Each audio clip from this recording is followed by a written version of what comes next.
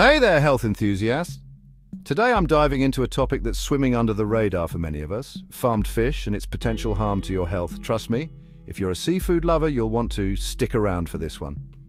First off, let's talk about what farmed fish actually eat. It might surprise you to learn that their diet can include everything from tiny worms to microorganisms found in polluted waters. Yep, you heard that right. These fish are often raised in crowded conditions, making them more susceptible to diseases. To counteract this, fish farmers sometimes add antibiotics and other chemicals to their feed. And guess what?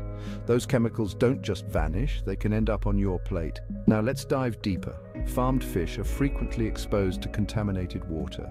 This water can carry harmful bacteria and viruses, which again can find their way into the fish themselves. Think about it.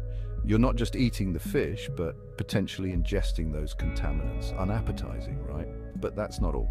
Farmed fish are also known to ingest plastic particles and other wastes found in their watery environment.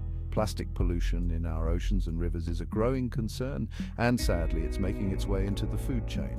So, when you're enjoying that fish fillet, you could be consuming tiny bits of plastic without even knowing it. As if that wasn't enough, there's also the issue of chemical residues. In some fish farms, chemicals are used to promote faster growth or to keep the water clean. Unfortunately, these substances can linger in the fish and make their way into our bodies, and let's be real, consuming chemicals and residues regularly is far from ideal for our health. So what's the takeaway here? While farmed fish might be more affordable and accessible, the potential health risks can't be ignored. From questionable diets to contaminated waters and chemical residues, there are several factors to consider before opting for farmed fish. If you're a seafood enthusiast, it might be worth investing in wild-caught fish or other sustainable options. Yes, they might be pricier, but when it comes to your health, isn't it worth it? All right, that's it for today. Stay informed and make choices that are best for your health. If you found this video helpful, don't forget to like, share and subscribe for more insights. Thanks for watching and take care.